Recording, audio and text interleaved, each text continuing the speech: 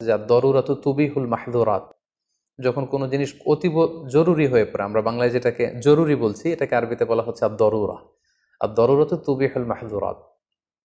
কোনো জিনিস যখন খুব জরুরি হয়ে পড়ে, তখন সেই জরুরতকে সারার জন্য হারাম জিনিসকেও কিন্তু ইসলাম হালাল করে দিয়েছে। তবে শর্ত হচ্ছে আর দরুরত বি কদারিহা যতটুকু না হলেই না।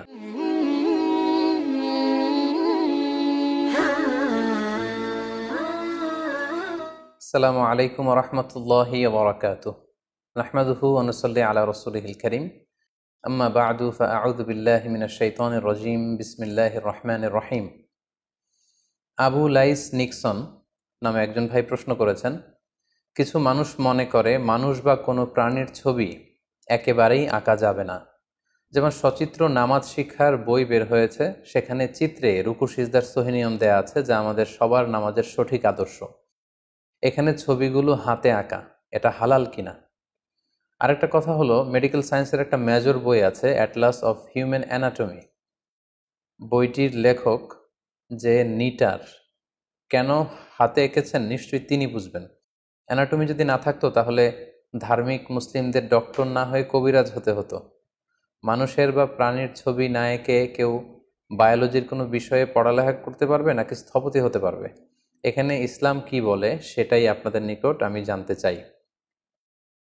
জি, প্রিয় ভাই আবু লাইস নিক্সন, আপনার এই প্রশ্নের উত্তরে আমরা বলব যে, ইসলামে ছবি আঁকা বা চিত্রাঙ্কন করা এতে কোনো বাধা নেই। আপনি চাইলে ফুলের ছবি আঁকতে পারেন, গাছের ছবি আঁকতে পারেন, পাহাড়ের ছবি আঁকতে পারেন, আকাশের ছবি আঁকতে পারেন, ঘরের ছবি আঁকতে পারেন। ইনভায়রনমেন্টাল ডিজাইনের জন্য যে ডিজাইন দরকার বা আর্কিটেকচারাল ডিজাইনের জন্য যে সমস্ত ডিজাইন দরকার, এই সব ধরনের ডিজাইন করা স্কেচ করা পোর্ট্রেট করা, এগুলো ইসলামে জায়েজ আছে। শুধু নিষেধ যেই জায়গাটাতে, সেটা হচ্ছে প্রাণীর ছবি অঙ্কন করা। দাতু আর ওয়াহ যেগুলো রুহ আছে দি রুহিন প্রাণীর ছবি অঙ্কন করার ক্ষেত্রে ইসলাম আমাদেরকে নিষেধ করেছে। সেটা মানুষের ছবি হোক, এটা অন্য কোনো প্রাণীর ছবি হোক, কোনো পাখির ছবি হোক, যেটার ভেতরে প্রাণ আছে, প্রাণ খুঁজে পাওয়া যাবে, সেটার ছবি আঁকা ইসলামে নিষিদ্ধ। কিন্তু প্রাণীর ছবি ছাড়া আর যে কোনো ধরনের ছবি আপনি চাইলে আঁকতে পারেন। সেক্ষেত্রে আপনি আপনার হবি ড্রয়িং বা পেন্টিং এই সব ধরনের কাজ কিন্তু আপনি করতে পারেন, শুধু প্রাণীর ছবিটা আঁকা যাবে না। এখন প্রশ্ন হচ্ছে প্রাণীর ছবি কেন ইসলামে অঙ্কন করাকে নিষেধ করা হয়েছে আর কারণটা কি? এর কারণ হচ্ছে প্রাণীর ছবি যদি কেউ অঙ্কন করতে চায় এটা কেমন যেন আল্লাহ তালার সৃষ্টিকে অনেকটা চ্যালেঞ্জ করার মতো দুঃসাহস দেখানো হয়। অর্থাৎ একটা মানুষকে যদি আমি স্কেচ করতে চাই কাগজে বা পোর্ট্রেট করতে চাই, সেক্ষেত্রে কেমন যেন তিনি দেখতে যেমন, তার মতো করে আরেকটা সৃষ্টি আমি আমার কাগজের ক্যানভাসে তুলে ধরতে চাইছি। এটা কেমন যেন স্রষ্টাকে চ্যালেঞ্জ করার মতো। এটাও এক ধরনের শির্ক, অর্থাৎ স্রষ্টার কর্মের সাথে শির্ক। কারণ আমি যদি একটা পাখির ছবি তুলতে অঙ্কন করতে চাই, সে পাখি তো আমি বানাতে পারব না। পাখি বানানো, কোনো প্রাণী তৈরি করা, এটা হচ্ছে শুধুমাত্র, কেবলমাত্র একমাত্র আল্লাহ তালার কাজ। সো সেই প্রাণ বিশিষ্ট কোনো জিনিসের, কোনো এন্টিটির ছবি আঁকতে চাওয়া, চিত্রাঙ্কন করতে চাওয়া, এটা কেমন যেন স্রষ্টার কাজের সাথে সামঞ্জস্যতা দেখানো বা সেটাকে ইমিটেট করা বা অনেকটা সেটাকে চ্যালেঞ্জ করার মতো দুঃসাহস দেখানো। তো সেক্ষেত্রে আমরা বলব যে ছবি তোলা ক্যাপচারিং ফটো সেটা আর প্রাণীর ছবি হাত দিয়ে স্কেচ করা, এই দুটার মধ্যে পার্থক্য আছে। এই বিষয়টি খুবই সেন্সিটিভ এবং খুব খেয়াল করে বিষয়টি আমাদেরকে বুঝতে হবে।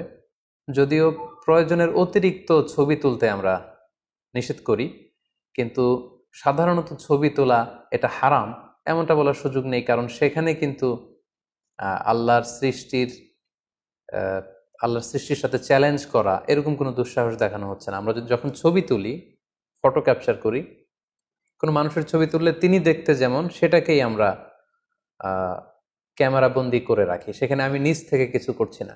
লেটসে একজন লোক বসে আছে, তো তিনি ওই পরিবেশে দেখতে যেমন, আমি ক্যামেরা দিয়ে ওই মুহূর্তটাকে ক্যামেরায় বন্দি করলাম।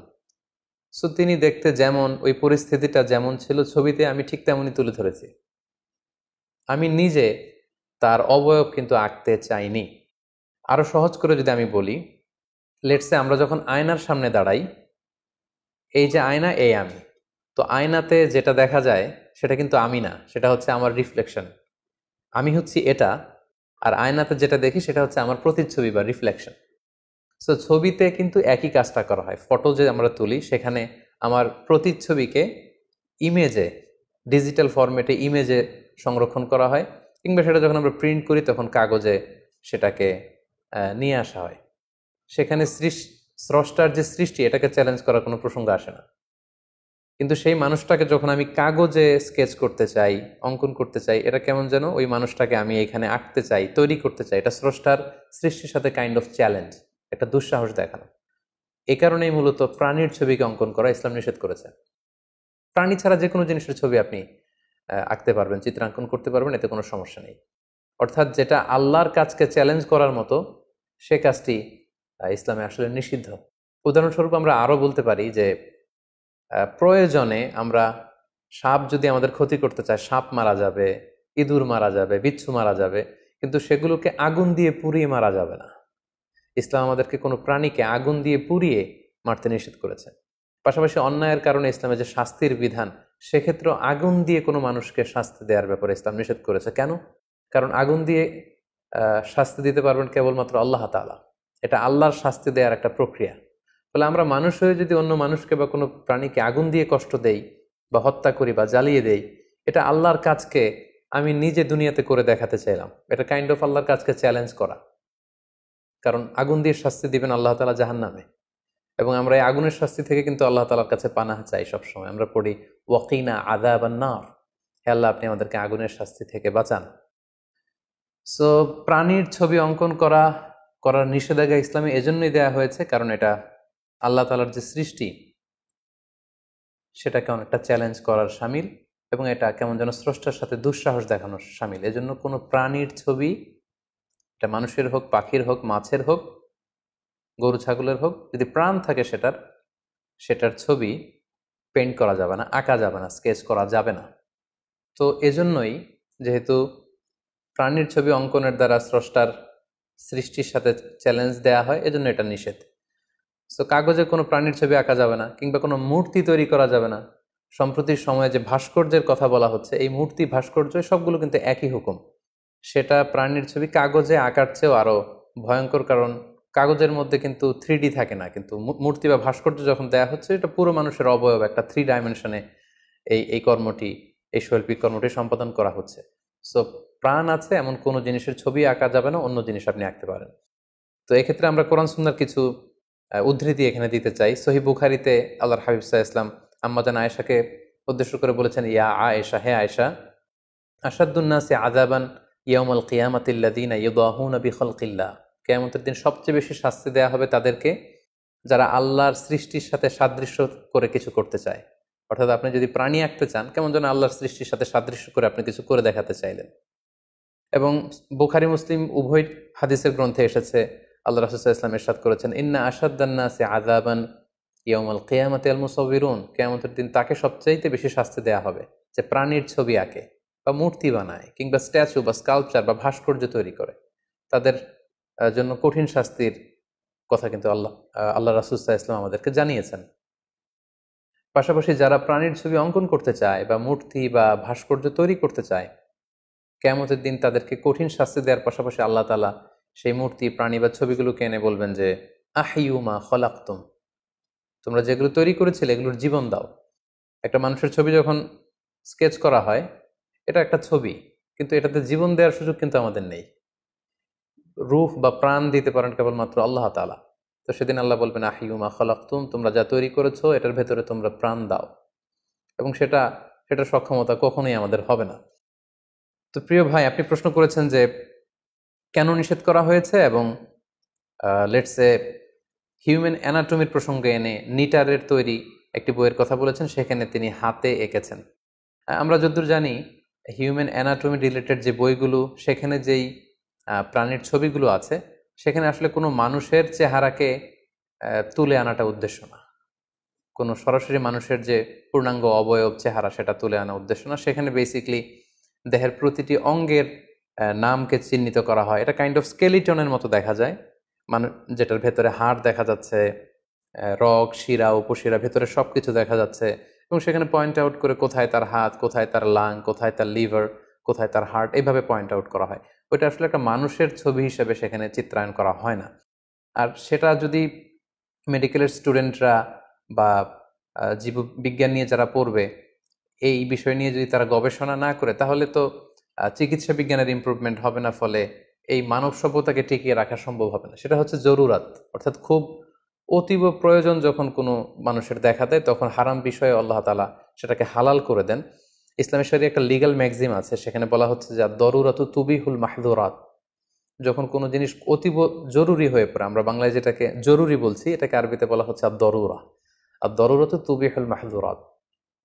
কোনো জিনিস যখন খুব জরুরি হয়ে পড়ে, তখন সেই জরুরতকে সারার জন্য হারাম জিনিসকেও কিন্তু ইসলাম হালাল করে দিয়েছে। তবে শর্ত হচ্ছে আর দরুরত বি কদারিহা যতটুকু না হলেই না। লেটসে প্র্যাকটিক্যাল পরীক্ষায় যদি এই জাতীয় কোনো প্রাণীর ছবি অঙ্কন করতে হয় তাহলে এমনভাবে আঁকা বা মানুষের দেহের চিত্র যদি অঙ্কন করতে হয়, তাহলে এমনভাবে আঁকা যাতে ওই পারপাসটা সার্ভ হয়ে যায়। সেখানে মাথা রিলেটেড কোনো অঙ্গ আঁকতে হলে শুধু মাথাটাকে আঁকা, হাতের চিহ্ন দেওয়ার প্রয়োজন হলে হাতটাকে আঁকা। অর্থাৎ পূর্ণাঙ্গ অবয়ব যাতে প্রকাশ না পায়, এই বিষয়টা খেয়াল রেখে এই পারপাস আমার মনে হয় সার্ভ করা যেতে পারে। তাছাড়া বাচ্চাদের বিভিন্ন বইতে বাচ্চারা যদি কার্টুন দেখে পড়াশোনা করে এটা তাদের বুঝতে সুবিধা হয়। এক্ষেত্রেও স্কলাররা ছাড় দিয়েছেন যে এডুকেশন পারপাস অর্থাৎ আপনি যে চিকিৎসা বিজ্ঞানের কথা বলেছেন মেডিকেল পারপাসের কথা বলেছেন, এগুলোতে ইসলামে ছাড় আছে, কারণ সেখানে স্রষ্টার সৃষ্টিকে চ্যালেঞ্জ করার মতো প্রসঙ্গটা আসে না, কারণ সেটা কেবলমাত্র গবেষণার স্বার্থে এডুকেশন পারপাস ইউজ হয়। এবং বাচ্চাদের কার্টুনের ক্ষেত্রেও কিন্তু স্কলাররা এ ব্যাপারে ছাড় দিয়েছেন, যে বাচ্চারা যেহেতু এই কার্টুনগুলো দেখে সহজেই তাদের পড়াশোনা আত্মস্থ করতে পারছে।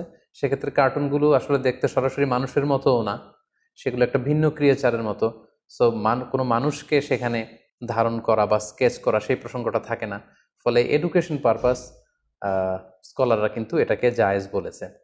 আবার অনেক বইতে যখন কনভারসেশন হয় লেটসে শিক্ষক এবং ছাত্র কথা বলছে, বিষয়টাকে আরও বেশি ইন্টারেক্টিভ করার জন্য সেখানে হাতে আমার মনে হয় শিক্ষকের ছাত্রের ছবি না এঁকে সেখানে সরাসরি পিকচার দিয়ে দেওয়া যেতে পারে।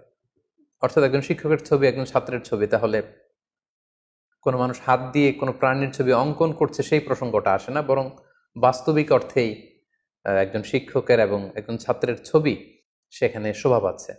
তাহলে আমরা এই প্রশ্নের উত্তরে বলতে পারি যে, সাধারণত প্রাণীর চিত্র অঙ্কন করা ইসলামে হারাম। যেটার প্রাণ আছে সেটা অঙ্কন করা যাবে না স্কেচ করা যাবে না, কারণ এটা স্রষ্টার সৃষ্টিকে কেমন যেন চ্যালেঞ্জ করা হয়। এজন্য এটা মানুষের জন্য এই ধরনের কাজ করা বৈধ নয় এবং এই কাজের জন্য কঠিন শাস্তির ঘোষণা দেওয়া হয়েছে। জরুরি প্রয়োজনে এডুকেশন পারপাস রিসার্চ পারপাস যেটা করা হয়, সেটা আসলে ওইভাবে প্রাণীর ছবি অঙ্কনের প্রসঙ্গটা আসে না, সেখানে গবেষণার প্রসঙ্গটা আসে। সেক্ষেত্রেও আমরা সাজেস্ট করব যে পূর্ণাঙ্গ অবয়ব যাতে না আসে। অনেক সময় জরুরি ছবি আঁকতে গেলে সেক্ষেত্রে স্কলাররা বলেছেন, নাকের যে অংশ, ঠোঁটের অংশ, চেহারার অংশ যদি না আসে, এরকম যদি নামাজ শিক্ষার বইতে কারও রুকুর দৃশ্য, সিজদার দৃশ্য দেয়া হয়, সেক্ষেত্রে গবেষণার স্বার্থে সেটা জায়েজ আছে। ইসলামী সারিয়ার একটা লিগাল ম্যাগজিন যেটা আমরা বলেছি দরুরত তুবিহুল মাহদুরাত necessity permits the prohibition education purpose স্কলাররা এটাকে জায়েজ বলেছে, কিন্তু সাধারণত প্রাণীর ছবি অঙ্কন করা ইসলামে নিষিদ্ধ। আশা করি আপনি আপনার প্রশ্নের উত্তর পেয়েছেন। আল্লাহ তালা আমাদের সবাইকে ইসলামকে সঠিকভাবে বুঝার, জানার এবং সে অনুযায়ী মানার তৌফিক দান করুক। হাজামা আইন্দি ওলা আলমা আইন্দ আল্লাহ আলাইহি তাওয়াক্কালতু ওয়া ইলাইহি উনিব। ওয়াসসালামু আলাইকুম রহমতুল্লাহ বারাকাতুহু।